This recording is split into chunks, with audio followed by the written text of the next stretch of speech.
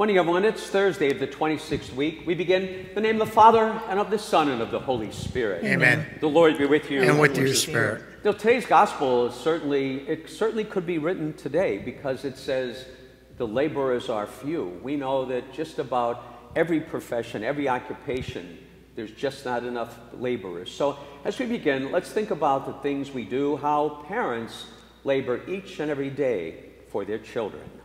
You were sent to heal the contrite of heart. Lord, have mercy. Lord, have mercy. You came to call sinners. Christ, have mercy. Christ, have mercy. You are seated at the right hand of the Father to intercede for us. Lord, have mercy. Lord, have mercy. May Almighty God have mercy on us, forgive us for the sin we have committed, bring each one of us home to everlasting life. Amen. Let us pray. Grant, O Lord, that the course of our world may be directed by your peaceful rule, and that your church may rejoice untroubled in her devotion through Christ our Lord. Amen.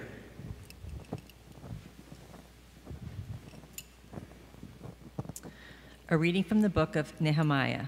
The whole people gathered as one in the open space before the water gate, and they called upon Ezra the scribe to bring forth the book of the law of Moses, which the Lord prescribed for Israel.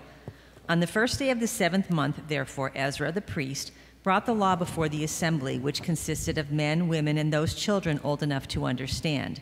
Standing at one end of the open place that was before the water gate, he read out of the book from daybreak until midday in the presence of the men, the women, and those children old enough to understand. And all the people listened attentively to the book of the law.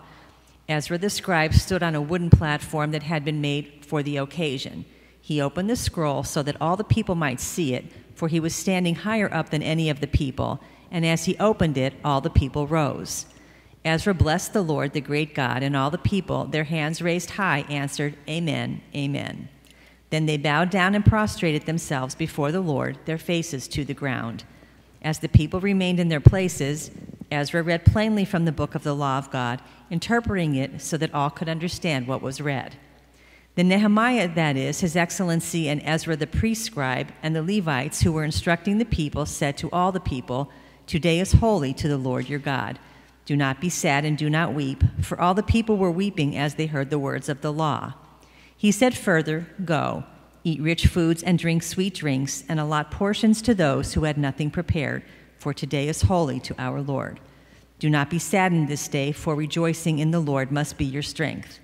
And the Levites quieted all the people, saying, Hush, for today is holy, and you must not be saddened. Then all the people went to eat and drink, to distribute portions, and to celebrate with great joy, for they understood the words that had been expounded to them the word of the Lord. Thanks be to God.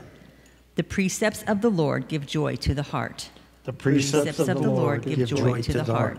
The law of the Lord is perfect, refreshing the soul. The decree of the Lord is trustworthy, giving wisdom to the simple. The precepts of the Lord give joy to the heart.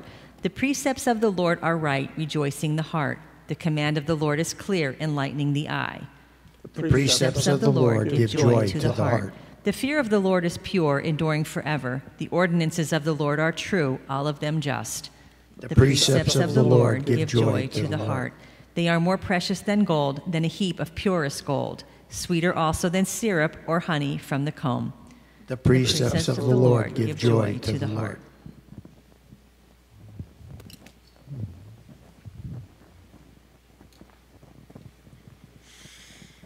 The Lord be with you. And with your spirit. Reading from the Holy Gospel according to Luke. Glory to you, O Lord. Jesus appointed 72 other disciples, whom he sent ahead of him in pairs, to every town and place he intended to visit. He said to them, The harvest is abundant, but the laborers are few. So ask the master of the harvest to send out laborers for his harvest. Go on your way. Behold, I am sending you like lambs among wolves. Carry no money bag, no sack, no sandals, and greet no one along the way. Into whatever house you enter, first say, Peace to this household. If a peaceful person lives there, your peace will rest on him. But if not, it will return to you. Stay in the same house and eat and drink what is offered to you, for the laborer deserves his payment. Do not move about from one house to another. Whatever town you enter and they welcome you, eat what is set before you, cure the sick in it, and say to them, The kingdom of God is at hand for you.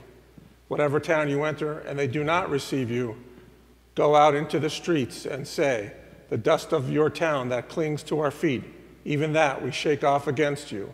Yet know this the kingdom of God is at hand. I tell you, it will be more tolerable for Sodom on that day than for that town. The gospel of the Lord. Praise, to you, Lord Jesus Christ. Good morning, everyone. So, Jesus is sending out 72 other disciples in pairs to kind of prepare the way for his visit to and his journey and his mission. What does he tell them to say? He tells them how to do it, what to carry, all those things. He tells them to preach that the kingdom of God is at hand. So, what does that mean? What does that mean to them? What does that mean to us? I think it means to show what Jesus did peaceful, love, mercy, forgiveness, and charity, cure the sick, heal people, do all those things to a town that accepts you. And for one that doesn't, well, they don't accept what you have. I think Jesus telling, in, you know, forming those other 72 disciples, he's telling us that same message today. I think we need to go out and share our faith. What is our faith? Our faith is the teaching and journey and mission of Christ. He died for our sins. He showed us forgiveness. He showed us mercy. He showed us love. I think that's when he says the kingdom of God is at hand. That's what we need. That's what we need to think about. The kingdom of God. What is the kingdom of God? It's about love. It's about mercy. It's about forgiveness. It's about eternal life. Those things that we need to share. So I'd ask you to reflect upon Jesus' mission today. Reflect upon his love and his mercy and his forgiveness and know that it'll always be with you. And then I ask you today to share that with someone by word or by deed, to share it with someone and offer your faith to them, as Jesus told us. God bless my brothers and sisters. For our petitions, for our church, may it always be a community of love, mercy, and forgiveness. Let us pray to the Lord. Lord, Lord hear our prayer. For all people, may they contribute to society based upon their God given gifts and talents. Let us pray to the Lord. Lord, hear our prayer. For any broken relationships with our brothers and sisters, may God grant us the graces needed to repair them. Let us pray to the Lord. Lord, hear our prayer. For the sick, the hungry, and the lonely, may they experience God's love and mercy and forgiveness. Let us pray to the Lord. Lord, hear our prayer. For all those who have died, may they come to share in the resurrection and peace of Christ. Let us pray to the Lord. Lord, hear our prayer. Heavenly Father, loving God, may we continue to be bearers of good news of your love for us through Christ our Lord. Amen.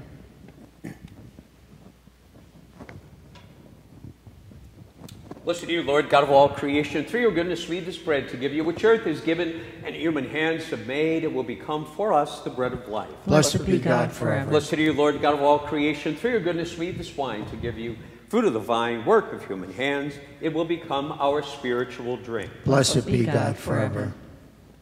Friends, let us pray that our gifts will be acceptable to God, our loving Father. May the Lord accept the sacrifice in our hands for the praise and glory of his name, for our good and the good of God's holy church. O oh God, who provide gifts to be offered in your name, count the gifts as signs of our desire to serve you with devotion. We ask of your mercy that what you grant as the source of merit may also help us to attain a merit's reward through Christ our Lord. Amen. The Lord be with you. And with your spirit. Lift up your heart. We lift them up to the Let Lord. us give thanks to the Lord our God. It is right and just. Father, love is our origin, love is our constant calling, love is truly our fulfillment in heaven. And so we join our loved ones in heaven as we pray this hymn of unending praise. Holy, holy, holy Lord, God of hosts, heaven and earth are full of your glory. Hosanna in the highest. Blessed is he who comes in the name of the Lord. Hosanna in the highest. You are indeed holy, O Lord, the font of all holiness. Let your Spirit come upon these gifts to make them holy, so that they may become for us the body and blood of our Lord Jesus Christ. On the night he was betrayed, he took bread, and giving thanks, broke the bread, gave it to his disciples, saying, Take this, all of you, and eat of it, for this is my body, which will be given up for you. Similar way, when supper was ended, he took the chalice, once more giving thanks, gave it to his disciples, saying, Take this, all of you, and drink from it, for this is the chalice of my blood, the blood of the new and eternal covenant, which will be poured out for you and for many for the forgiveness of sin. Do this in memory of me.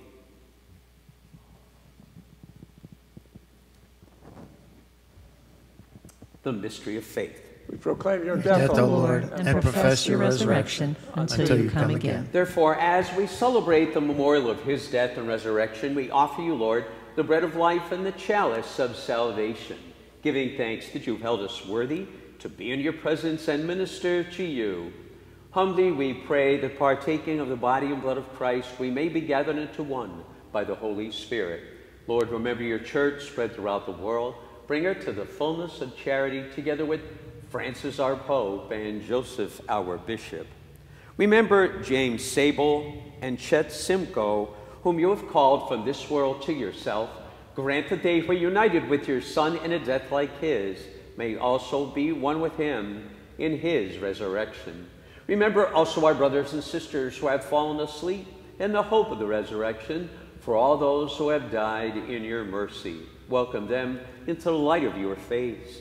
Have mercy on us all, we pray that, together with the Blessed Virgin Mary, the Mother of God, Joseph, her husband, the apostles, the martyrs, and all the saints who have pleased you throughout the ages, may we merit to be co heirs of eternal life, may we praise and glorify you through your Son, Jesus Christ. Through him, with him, in him, O God Almighty Father, in the unity of the Holy Spirit, all glory and honor is yours forever and ever. Amen. We pray as Jesus taught us. Our Father, who art in heaven, hallowed be thy name. Thy kingdom come, thy will be done, on earth as it is in heaven. Give us this day our daily bread, and forgive us our trespasses, as we forgive those who trespass against us. And lead us not into temptation, but deliver us from evil. Deliver us, Lord, from every evil, and graciously grant peace in our day, that by the help of your mercy we may be free from sin and safe from all distress, as we wait with joyful hope the coming of our Savior, Jesus Christ. For the kingdom, the power, and the glory are yours now and forever. Lord Jesus Christ, you said to your apostles, Peace I leave you, my peace I give you. Look not on our sin, but on the faith of the church, and graciously grant her peace and unity in accordance with your will, who live and reign forever and ever. Amen. May the peace of our Lord be with each one of you. And with your spirit. Let us offer each other the sign of peace.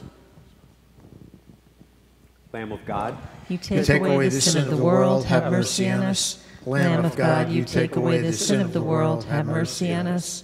Lamb of God, you take away the sin of the world, grant us peace. behold the Lamb of God. Behold him who takes away the sin of the world. Blessed are those called to the supper of the Lamb. O Lord, I am not worthy that you should enter under my roof, but only say the word, and my soul shall be healed.